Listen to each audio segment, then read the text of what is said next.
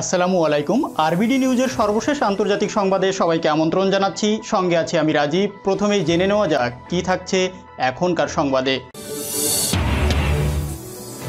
অচল অবস্থা কাটাতে চাইলে ইরানের শর্ত মেনে নিতে হবে বলছে প্রেস টিভি।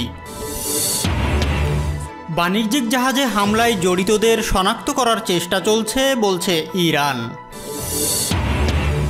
যোগাযোগের চেষ্টা করছে বাইডেন প্রশাসন, সাড়া দেয়নি উত্তর কোরিয়া।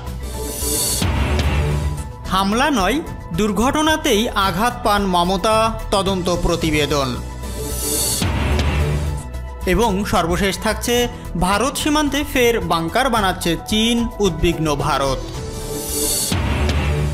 এতক্ষণ প্রধান প্রধান অংশগুলো শুনলেন এখন বিস্তারিত, তবে তার আগে রিকোয়েস্ট থাকবে ভিডিওটিতে একটি লাইক দিয়ে সাথেই থাকুন।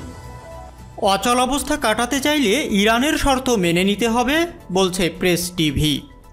পাশ্চাত্যের সঙ্গে ইরানের স্বাক্ষরিত পরমাণু সমঝোতাকে পুনরুজ্জীবিত করার জন্য আন্তর্জাতিক অঙ্গনে ব্যাপক তোড়জোড় চললেও ইরানের ন্যায়সঙ্গত দাবিগুলো মেনে না নেওয়া পর্যন্ত এই সংক্রান্ত অচল অবস্থা কাটবে না বলেই মন্তব্য করেছে ইংরেজি নিউজ চ্যানেল প্রেস টিভি।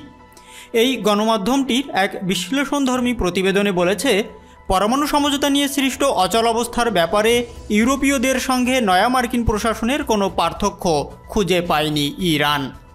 সম্প্রতি তিন ইউরোপীয় দেশ আন্তর্জাতিক পরমাণু শক্তি সংস্থার ইরান বিরোধী প্রস্তাব পাশের চেষ্টা করলে তেহরান হুমকি দিয়ে জানায়, ওই প্রস্তাব পাশ হলে সংস্থার মহাপরিচালকের সঙ্গে ইরানের তিন মাসের যে অস্থায়ী চুক্তি হয়েছে তা বাতিল করা হবে।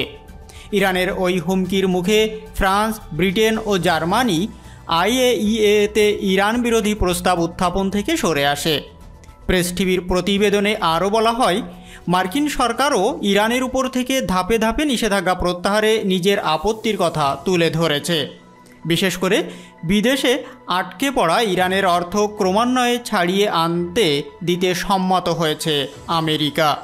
কিন্তু জো বাইডেনের নেতৃত্বাধীন প্রশাসন ইরানের সঙ্গে আনুষ্ঠানিক কিংবা গোপন কোনো বৈঠক না বসে এই ছাড় দিতে রাজি নয়।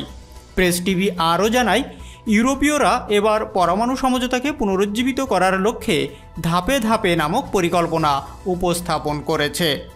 তারা প্রকৃতপক্ষে ইরানের হুমকির মুখে আইএইএতে ইরান বিরোধী প্রস্তাব উত্থাপন না করলেও এখন দাবি করছে নিজেদের সদিচ্ছার প্রমাণ দিতে তারা এই কাজ থেকে সরে গিয়েছিল। কাজেই এবার তারা ধাপে ধাপে পরমাণু সমঝোতাকে পুনরুজ্জীবিত করার যে পরিকল্পনা উত্থাপন করেছে তা ইরানকে মেনে নিতে হবে।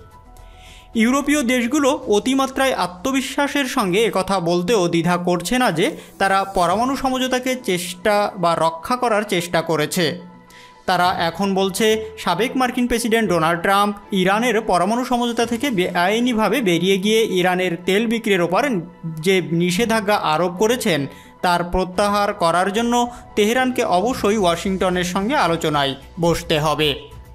প্রেস টিভি আরও লিখেছে দক্ষিণ কোরিয়া ইরানের তেল বিক্রির আটকে পড়া সাতশো কোটি ডলার থেকে একশো কোটি ডলার ছাড়িয়ে আনার বিষয়টিও প্রথমে সম্মত হয়েছিল আমেরিকা। কিন্তু ইরান যখন তার ওপর থেকে সব নিষেধাজ্ঞা একেবারে প্রত্যাহারের দাবিতে অটল থাকে, তখন ওই একশো কোটি ডলারের ব্যাপারেও ছাড় দিতে অস্বীকৃতি জানায় মার্কিন সরকার। প্রতিবেদনে ইরানের কঠোর অবস্থানের কথা তুলে ধরে বলা হয়, ইরানের ঘোষিত নীতির সঙ্গে অসামঞ্জস্যপূর্ণ কোনো পরিকল্পনা নিয়ে তেহরানের সঙ্গে আলোচনায় বসা যাবে না। ইরানের সর্বোচ্চ নেতা গত আট জানুয়ারির ভাষণে যেসব শর্ত দিয়েছেন, পাশ্চাত্য সেগুলোর সঙ্গে সামঞ্জস্যপূর্ণ কোনো পরিকল্পনা নিয়ে অগ্রসর হলেই কেবল তেহরানের সহযোগিতা পাবে। ইরানের সর্বোচ্চ নেতা আইতুল্লাহিল উজমা খামিনিও বলেছেন, তার দেশ পরমাণু সমঝোতা বাস্তবায়নের মাত্রা আগে কমাতে শুরু করেনি, বরং আমেরিকা আন্তর্জাতিক আইন লঙ্ঘন করে এই সমঝোতা থেকে বেরিয়ে যাওয়ার পরই সামগ্রিক অচল অবস্থার সূচনা হয়েছে। কাজেই পাশ্চাত্য যদি পরমাণু সমঝোতা পুনরুজ্জীবিত করতে চায়, তবে আমেরিকাকে সবার আগে নিষেধাজ্ঞা প্রত্যাহার করতে হবে। আর সেটা শুধু মুখে বললে হবে না, বরং কাজে প্রমাণ করতে হবে। কার্যকরভাবে নিষেধাজ্ঞা প্রত্যাহারের বিষয়টি উপলব্ধি করার পরই ইরান পরমাণু সমঝোতায় দেওয়া নিজের প্রতিশ্রুতিতে পুরোপুরি ফিরে যাবে। বাণিজ্যিক জাহাজে হামলায় জড়িতদের শনাক্ত করার চেষ্টা চলছে দাবি ইরানের। ইরানের বাণিজ্যিক জাহাজে হামলার ঘটনাকে নাশকতামূলক তৎপরতা বলে অভিহিত করেছে তেহরান। ইরানের পররাষ্ট্র মন্ত্রণালয়ের মুখপাত্র সায়েদ খাতিব জাদে বলেছেন, এই নাশকতামূলক তৎপরতার মাধ্যমে আন্তর্জাতিক আইন ও সমুদ্র চলাচল বিষয়ক আইন লঙ্ঘন করা হয়েছে। তিনি এই হামলার তীব্র নিন্দা জানিয়ে বলেন, এই নাশকতামূলক তৎপরতায় জড়িতদের চিহ্নিত করার জন্য এরই মধ্যে নানামুখী তৎপরতা শুরু হয়েছে। এর আগে ইরানের শিপিং লাইন গ্রুপের মুখপাত্র আলী গিয়াসিয়ান বলেছেন, ভূমধ্যসাগরের আন্তর্জাতিক পানিসীমায় একটি বিস্ফোরক ডিভাইসের আঘাতে ইরানের শহরে কর্দ নামের একটি বাণিজ্যিক জাহাজে আংশিক ক্ষতি হয়েছে। তিনি আরও বলেছেন, বাণিজ্যিক জাহাজটি ইরান থেকে ইউরোপে যাচ্ছিল। গিয়াসিয়ান বলেন, বিস্ফোরক বস্তুটি জাহাজটিতে আঘাত করার পরে সেখানে আগুন ধরে যায়, তবে তা বড় আকারে ছিল না। এরপর জাহাজের ক্যাপ্টেন ও ক্রুদের সময়োপযোগী পদক্ষেপ ও প্রচেষ্টায় দ্রুত আগুন নিয়ন্ত্রণে আসে। এর ফলে জাহাজের কেউই হতাহত হয়নি। যোগাযোগের চেষ্টা করছে জো বাইডেন এর প্রশাসন, সাড়া দেয়নি উত্তর কোরিয়া। উত্তর কোরিয়ার রাষ্ট্রনেতা কিম জং উনের সঙ্গে আলোচনার টেবিলে বসে ইতিহাস সৃষ্টি করেছিলেন মার্কিন প্রেসিডেন্ট ডোনাল্ড ট্রাম্প।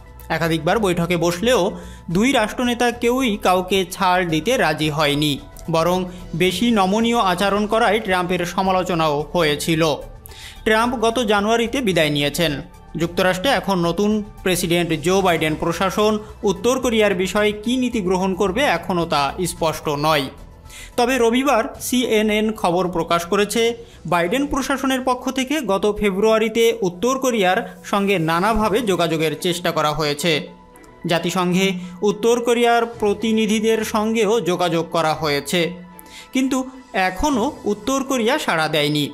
উত্তর কোরিয়ার বিষয়ে দায়িত্ব পালন করা ট্রাম্প প্রশাসনের একাধিক কর্মকর্তার সঙ্গে আলোচনা করেছে বাইডেন প্রশাসন।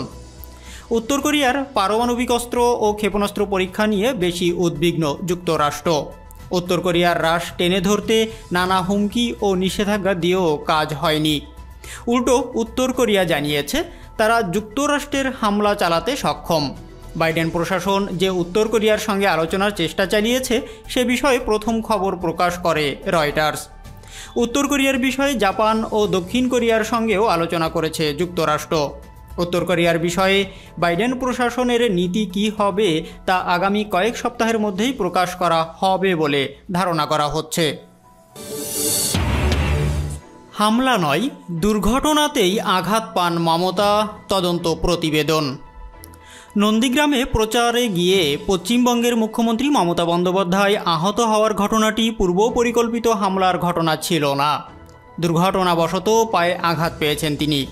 নির্বাচন কমিশনে দেওয়া তদন্ত প্রতিবেদনে এমন মত দিয়েছেন রাজ্যের পুলিশ পর্যবেক্ষক বিবেক দুবে এবং বিশেষ পর্যবেক্ষক অজয় নায়েক।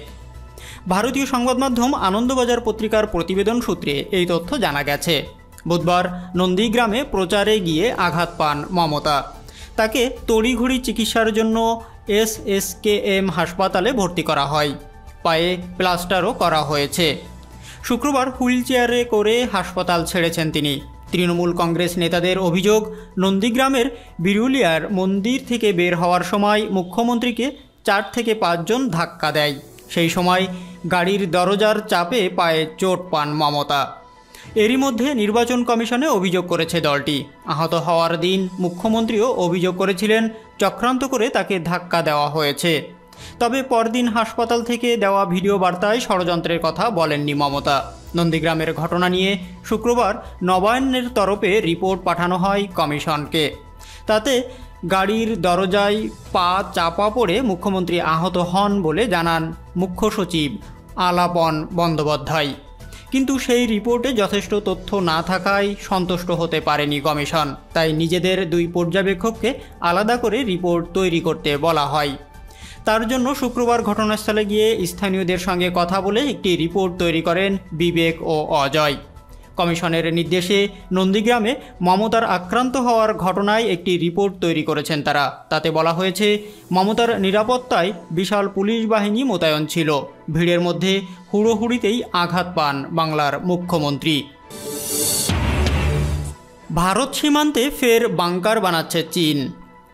আবারও হিমালয় এলাকায় নিজের সামরিক শক্তি বৃদ্ধি করছে চীন। ভারত তিব্বত সীমান্ত ঘেঁষে বাংকার ও গ্রাম তৈরি করছে দেশটি। হংকং ভিত্তিক সাউথ চায়না মর্নিং পোস্ট জানিয়েছে, এইসব এলাকায় এমন ছয়শত চব্বিশটি গ্রাম নির্মাণ করবে চীন। একটি মার্কিন স্যাটেলাইটে দেখা গেছে, এইসব গ্রাম ঘিরে বাংকারও তৈরি হচ্ছে। শনিবার এই সব খবর জানানো হয়েছে। কৌশলগতভাবে গুরুত্বপূর্ণ এলাকার উপর নিয়ন্ত্রণ প্রতিষ্ঠার জন্য বিতর্কিত সীমান্ত ভূমিতে চীনের নির্মাণ কাজ ভারত, ভুটান ও নেপালের উদ্বেগ বাড়াচ্ছে। শুধু গ্রামই নয়, সামরিক সুবিধা সম্পন্ন স্থাপনাও নির্মাণ করা হচ্ছে। সম্প্রতি চীনা সরকারের একটি নথি উদ্ধৃত করে জানানো হয়েছে, চীন বিতর্কিত হিমালয় এলাকায় ছয়শত চব্বিশটি সীমান্ত গ্রাম নির্মাণ করতে চায়। দরিদ্র বিমোচনের নামে চীনা কমিউনিস্ট পার্টি নির্মমভাবে তিব্বতীদের উৎখাত করছে এবং তাদের এই সব গ্রামে বসতি স্থাপন করতে বাধ্য করছে। চীন যেমন দক্ষিণ ও পূর্ব চীন সাগরে আধিপত্য সম্প্রসারণের জন্য উপকূলরক্ষী বাহিনী সমর্থিত বেসামরিক মাছ ধরার নৌকা নিয়োগ করেছে তেমনই তারা হিমালয়ের নির্জন সীমান্ত এলাকায় নিয়মিত সৈন্য পাঠানোর আগে পশুপালক পাঠাচ্ছে।